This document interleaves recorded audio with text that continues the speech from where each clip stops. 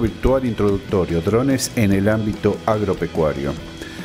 En esta descripción vamos a ver en el módulo primero los aspectos esenciales antes de volar, como son la planificación del vuelo, que tiene que ver con todos los elementos que hacen a la planificación y la consistencia de ese vuelo que vamos a hacer, y por el otro lado los elementos que tienen que ver con el prevuelo, también llamado checklist, que son los instantes previos al despegue para que, eh, digamos, no haya ningún tipo de sorpresas cuando estemos volando. Los elementos de la planificación incluyen, por supuesto, el sentido del vuelo. Es decir, nosotros no volamos porque sí, tiene que haber un objetivo. Ese objetivo en el ámbito agropecuario puede estar definido de muchas maneras, pero acá lo resumimos en el ahora o el mañana. Es decir, el objetivo del ahora es un relevamiento de estado de situación y el objetivo vinculado con el mañana es la posibilidad de imaginar cómo mañana va a estar una cosa o hacer algún tipo de perspectivas que indiquen cómo está la producción, los animales o lo que sea. Veamos. Entre los objetivos inmediatos, o sea, el ahora, podemos determinar entre muchas cosas el estado de lotes y parcelas, si están bien, si no están bien, si los alambrados están o no están, los cultivos, si se sembraron correctamente, si no hay problemas en las máquinas que se evidencian fácilmente desde arriba cuando uno sobrevuela, si la calidad, eh, la cantidad o la evolución de los cultivos va adecuada, podemos detectar este, faltantes de nutrientes, podemos detectar plagas, enfermedades, mm, otro tipo de cuestiones. Lo mismo con los animales, podemos hacer conteos de cantidad, de presencia, de ubicación. También, eh, obviamente, si falta un animal, es muy importante porque podemos también rastrear desde arriba hacia dónde está ese animal. Las instalaciones, es decir, los alambrados, galpones, casas, corrales, etcétera, Podemos también en el ahora controlar las quemas o incendios. También podemos visualizar las inundaciones o sequías. Podemos ver el estado de los caminos. Como mencionábamos hace un rato, el tema de la seguridad, es decir, el abigeato, eh, las líneas de energía si no están caídas, si hay intrusos, si hay caza ilegal, etc. Podemos ver también los montes, si los animales están en el monte o no están, o si hay gente o no hay gente, si están bien esos montes o pastizales o si se están prendiendo fuego. Y por supuesto el control de labores, es decir, estamos enviando a un grupo de gente a realizar un trabajo y con un dron se puede dar una pasada para ver cómo están las cosas. Entonces, resumiendo, los objetivos inmediatos en general son para obtener una visión rápida y momentánea de las cosas a diferencia de los objetivos a posteriori, en el cual se hace un relevamiento, pero ese relevamiento por sí solo no basta, hay que volverlo a repetir en el tiempo. Por ejemplo, un cultivo podemos hacer el análisis temporal, tomando en distintos estadios fenológicos, cómo va creciendo, cómo va fructificando, eh, cómo va reaccionando ante las aplicaciones fitosanitarias, si hay plagas, enfermedades o algún tipo de inconvenientes. Podemos notar, como comentábamos, la ausencia o presencia de nutrientes, porque a medida que va creciendo el cultivo, eh, va teniendo demandas de nutrientes y micronutrientes y cuando hay una carencia se percibe. Por supuesto, el tiempo tiene mucho que ver y hay momentos que hay sequía y hay momentos que hay lluvias, entonces podemos ir relevando eh, los bajos inundables o las zonas más sensibles para la inundación e ir remediándolas. Esto está muy vinculado con la altimetría o planimetría del terreno, con el cual podemos ir haciendo modelos en 3D y otros para determinar cómo es el relieve del terreno, incluyendo la vegetación, por supuesto. También podemos determinar los hábitos y el estado de salud de los animales, los mapeos, es decir, hacer un ortomosaico que vendría a ser una composición de cientos de fotos para describir todo un terreno, Y por supuesto que es muy importante y que se utiliza mucho, especialmente en las plataformas satelitales, la creación de índices. Estos índices son índices de productividad y están vinculados con eh, los cultivos. Por ejemplo, el más conocido es el NDBI. También hay otro llamado índice de verdor y un montón más. Nosotros acá vamos a trabajar con algunos índices que son simulados. Esto es porque para los índices que primero describí se requieren eh, técnicas basadas en los infrarrojos, cosas que son muy difíciles de hallar aún en los drones, aunque existen, pero son tremendamente caras. Sin embargo, hay algunas técnicas sencillas que vamos a describir en el módulo 2, donde se puede, o 3, donde se puede trabajar este tipo de cosas por colorimetría. Entonces, los objetivos a posteriori son análisis en el tiempo comparativos o no con cierta persistencia. La preparación logística, el segundo punto de la planificación, tiene que ver con algunos aspectos que son la locación de vuelo, la aeronave e insumos, el ambiente y la climatología. La locación de vuelo es dónde vamos a volar. Y acá es muy importante hacer siempre un estudio previo del mapa por ejemplo con Google Maps o alguna otra aplicación de ese estilo, y una aproximación al clima en esta época del año que vayamos a volar, como para tener una idea de los vientos predominantes, si suele haber algunos imprevistos o ese tipo de cosas. La preparación logística vinculada con la aeronave tiene que ver con el objeto que vuela, en este caso el dron, y todas sus partes, es decir, las baterías que eh, nos van a dar este, obviamente la autonomía de vuelo, es decir, la cantidad de minutos y las distancias que vamos a poder barrer, las hélices, las hélices siempre tienen que estar en buen estado y debemos tener repuestos, tarjetas SD adecuadas de la velocidad correcta y de la capacidad correcta, las calibraciones, un dron es un artefacto de una ingeniería asombrosa, que requiere que calibremos su compás o brújula, pero también que calibremos sus sensores, que eh, son los sensores de posicionamiento, GPS, eh, que hace que digamos mantenga la estabilidad en los seis ejes. Por supuesto, si vamos a trabajar en una extensión grande de campo, necesitamos personal de apoyo u observadores, que eh, los que nos van a guiar en el caso que nosotros perdamos de vista el artefacto o en el caso de que ocurriese una caída del dron, nos pudieran ayudar a la búsqueda. Si bien es cierto que las aplicaciones permiten la búsqueda, pero siempre entre dos personas es más fácil. Finalmente, las comunicaciones. Es muy importante tener comunicación, es decir, no solamente entre el personal de apoyo y el piloto, sino también entre el FPV, es decir, entre la pantalla que nos ofrece el celular para este tipo de operaciones y la red, porque muchos de los mapas que nosotros utilizamos son descargados de la red. Entonces, si no tenemos comunicación, es bastante complicado cuando queremos volar y aparece solamente un mapa en blanco. Ha pasado en algunos lugares donde no tenemos este, señal ni de 3G, ni de 2G, ni de nada, y se hace realmente difícil volar porque, aunque tengamos precargado el mapa, no tenemos los detalles del terreno que nos permiten identificar. En cuanto al ambiente, estamos hablando de los obstáculos naturales, arboledas, mm, eh, lomas, qué sé yo, eh, bañados o ríos, etc. Y por supuesto los obstáculos artificiales, líneas de alta tensión, de media, de baja, eh, edificios, infraestructuras, etc. No sería la primera vez que nos tropezamos con una línea de baja tensión o con una de media tensión y el dron, aunque no sufre mayores daños, normalmente puede romper una hélice o quemar un motor. Y finalmente, en la preparación logística vinculado a la climatología, estamos hablando de todo lo que tiene que ver con el clima.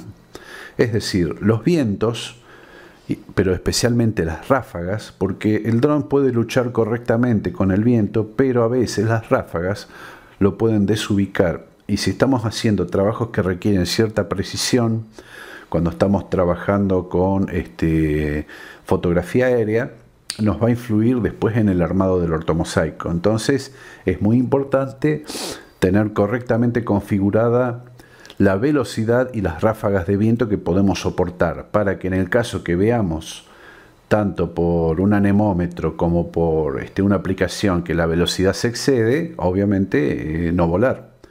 El índice KP que tiene que ver con la actividad solar y la propagación de eh, señales de radio en la alta atmósfera que nos impide conectarnos correctamente con el GPS, la visibilidad, pueden haber nubes o no haber nubes, o haber nubes muy bajas y muy húmedas, eso tampoco es muy recomendable para un dron que normalmente no tiene protección contra el agua.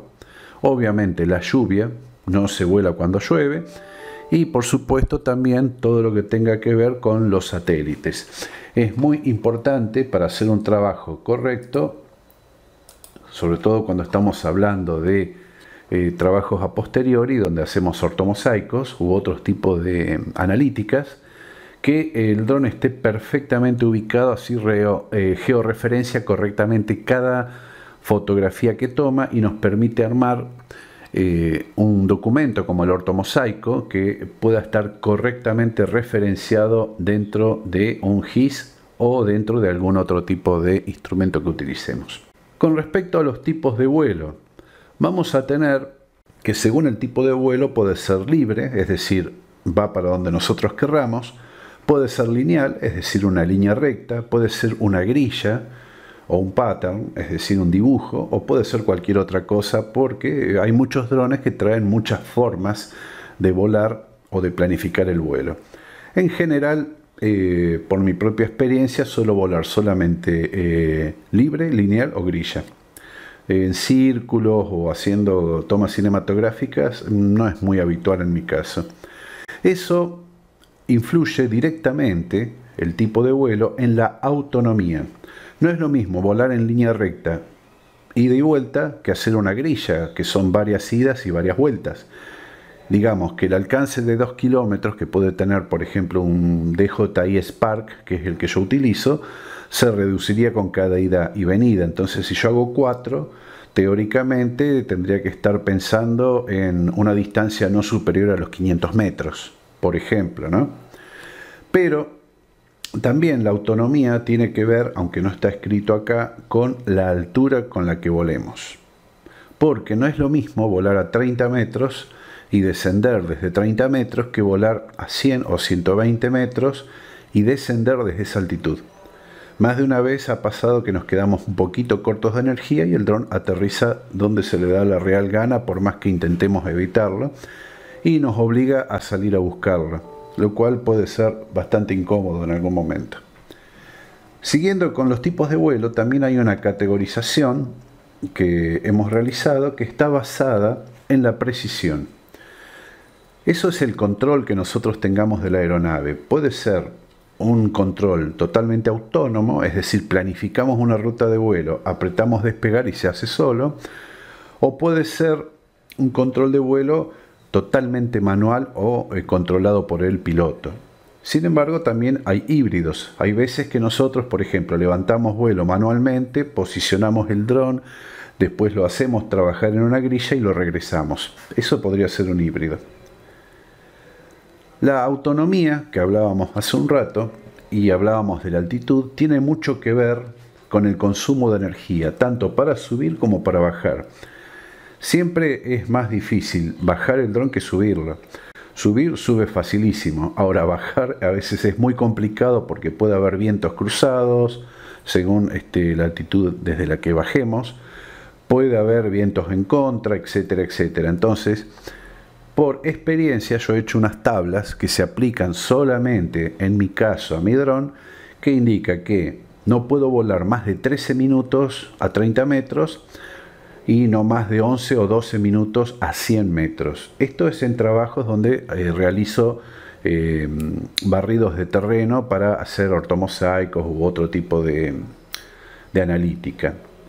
Una grilla, utilizándolo en medidas llamadas baterías, en este caso de mi dron, de 15 hectáreas, más o menos me insume, según la altura, entre 2 y 3 baterías. Y la distancia que alcanzo con el dron con una batería es aproximadamente 2.000 metros según la altura. Todo esto es algo que ustedes tienen que hacer con sus propios drones y tener muy presentes en una tablita cuál es la autonomía real, porque eh, según el manual la batería dura 15 minutos, pero todos sabemos que cuando la batería está al 80% hay que volver o este, nos enfrentamos a quedarnos sin energía en mitad del descenso o del regreso. Entonces, eso hay que calibrarlo personalmente. En mi caso, estos son los valores que mejor se adaptan al tipo de trabajo que yo hago. Con respecto a las tarjetas SD, o sea, la media, donde nosotros grabamos, es recomendable que sean de la mejor calidad posible y no solamente de muchas cantidades de gigas. Usualmente trabajo entre 16 y 32 gigas, pero lo que importa acá es la velocidad de transferencia.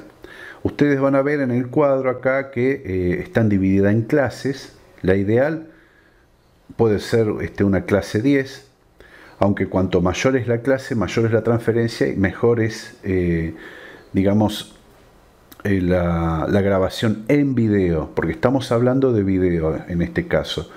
Sin embargo, en fotografías, como los drones suelen tener cámaras que son muy generosas en cuanto a megapíxeles, también conviene que sean eh, de gran capacidad y de buena calidad en cuanto a transferencia. Yo menos de categoría 10 no utilizo, utilizo de categoría 10 hacia arriba.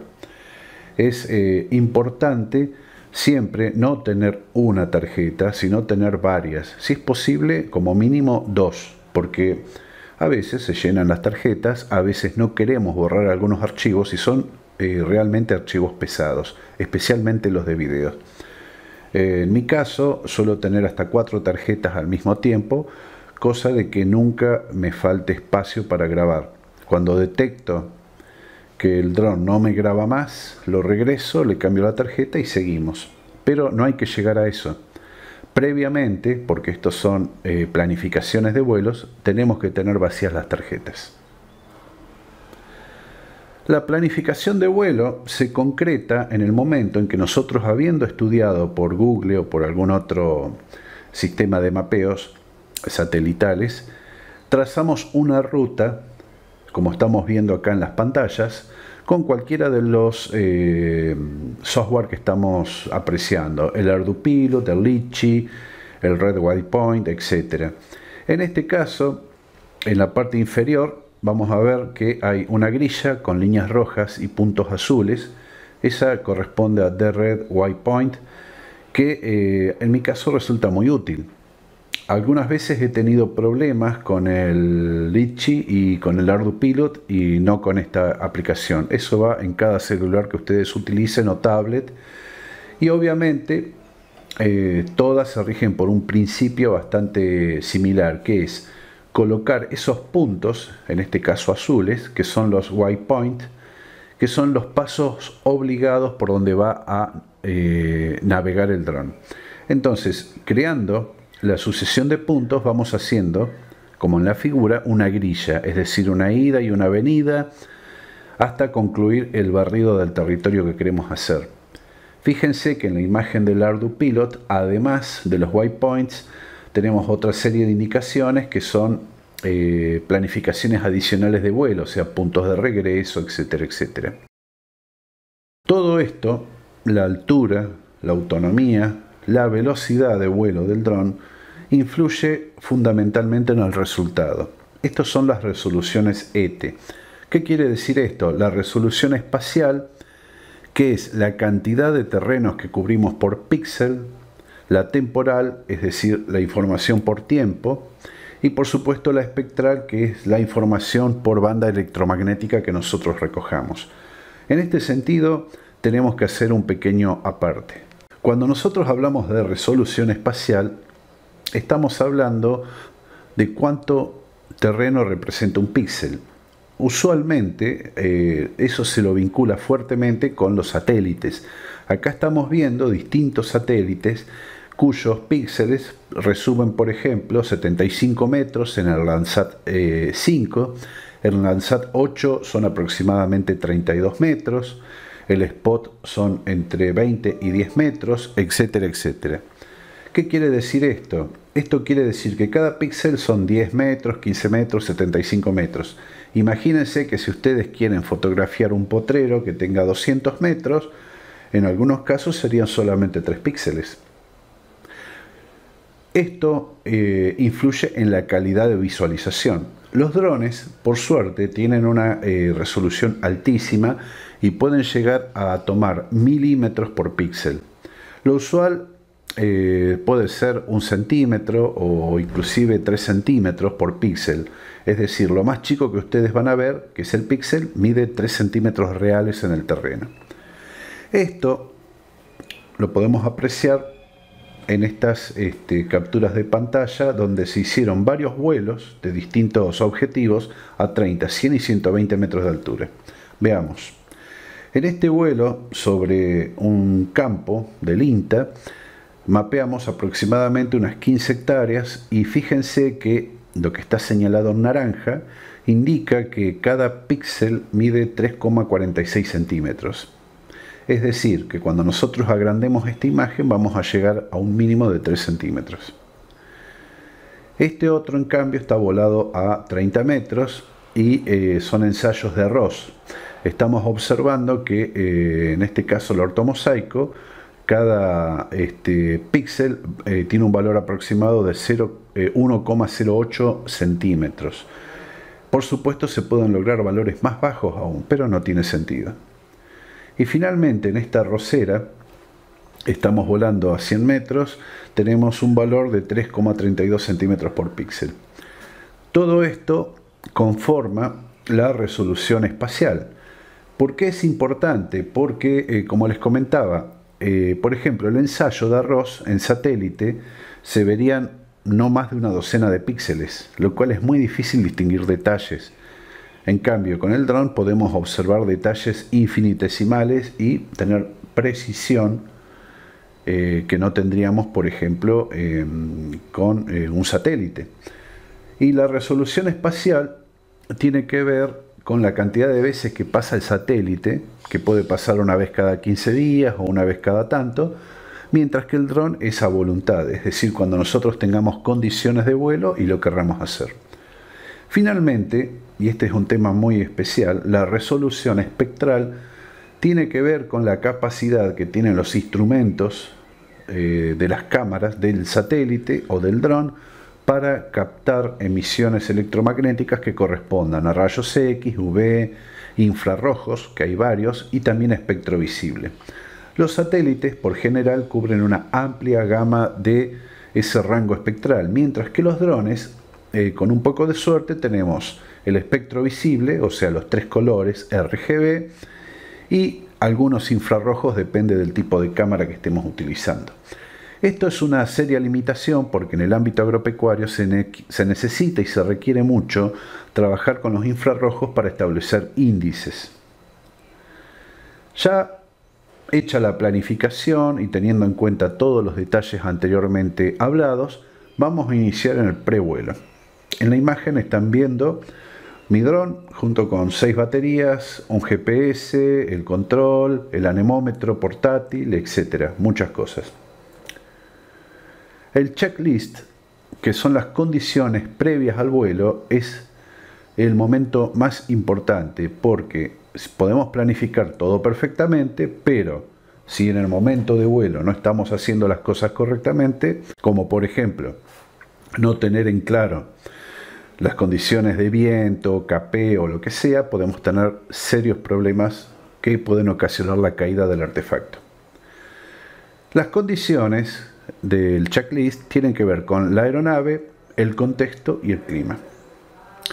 Las condiciones de la aeronave se pueden resumir en una listita mental o en un papelito o también en una aplicación donde vemos las distintas cuestiones que hacen a la seguridad de la aeronave y al éxito de la misión.